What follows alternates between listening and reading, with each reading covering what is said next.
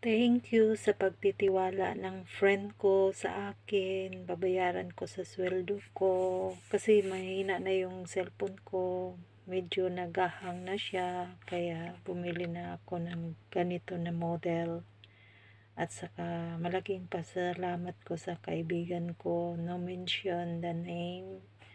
Napakabait niya dahil nagtitiwala siya sa akin. Dahil alam niya babayaran ko siya. So, mataas ang give niya. 256 kasi medyo mahang na yung cellphone ko. Ito yung ano niya, free casing. Tapos, free power bank. So, thank you very much talaga sa kaibigan ko. Nagtitiwala sa akin. Bye mga idol.